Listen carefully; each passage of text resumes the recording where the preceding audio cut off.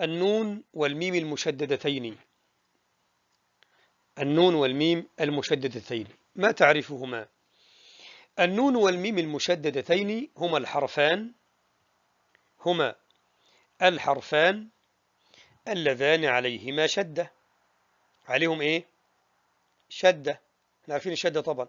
شدة وفتحة شدة وضمة شدة وكسرة.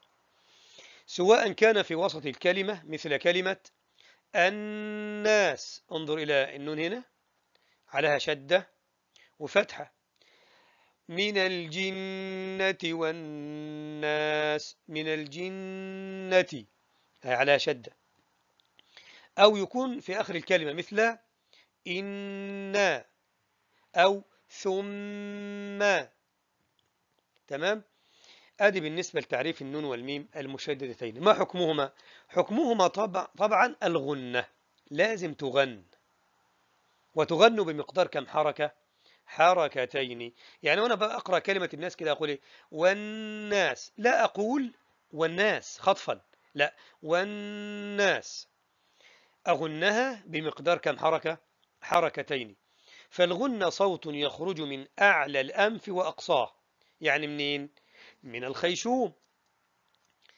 طيب آه وعرفنا الغنة كم كم حركة؟ تاخذ كم حركة؟ حركتين.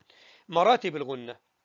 مراتب الغنة أكمل ما تكون الغنة في الحرف المشدد. إنا لما تمام. ده أكمل ما تكون. وتكون كاملة يعني أقل درجة من إلى أكمل أكمل دي صيغة تفضيل.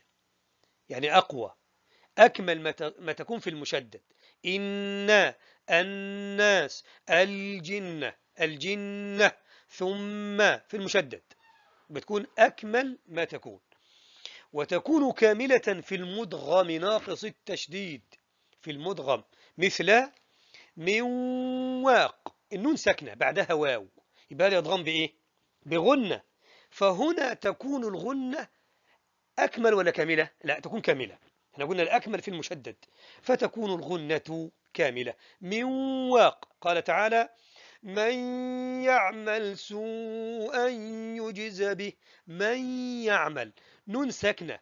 بعدها ياء إدغام بغنة. يبقى هنا في إدغام. فالغنة فيه تكون إيه؟ تكون كاملة. المرتبة الثالثة من مراتب الغنة تكون أقل في المخفي. إخفاء حقيقي. تمام؟ أو في حالة الإقلاب. يبقى أعلى حاجة الأكمل في المشدد. الكاملة في المدغم ناقص التشديد. الأقل في المخفي إخفاء حقيقي أو, أو الإخفاء الشفوي أو في حالة الإقلاب. عليهم بعلم. ميم ساكنة بعدها باء يبقى إخفاء إيه؟ إخفاء شفوي. فالغنة هنا أقل. من بعدهم نون ساكنة بعدها باء يبقى هنا في إقلاب. يبقى الغنة مالها؟ الغنة بتكون أقل.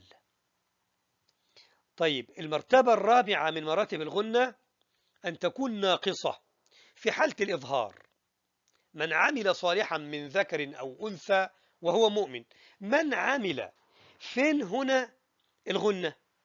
أي صوت خرج هنا من الأنف؟ ما فيش. يبقى إذن هنا عندنا إظهار والإظهار تكون فيه الغنة ناقصة.